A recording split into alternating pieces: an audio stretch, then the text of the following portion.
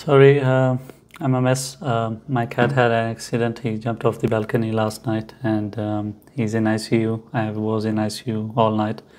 It's my third day. I have not slept. I couldn't sleep in Montreal uh, because of work and the plane. And now I came and he jumped off. So apologies for the way I look. Um, the XRP update is pretty much the same. Um, like yesterday, the resistance is still at 52 cents. XRP is not able to sustainably break it and go um, and goes above it.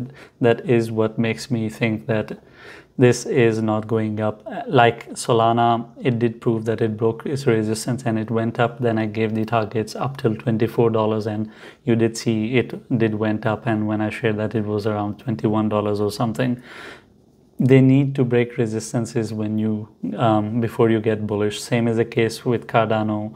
I shared that it needs to break its 26 cents live above it to prove it that it's broken then we can share the targets.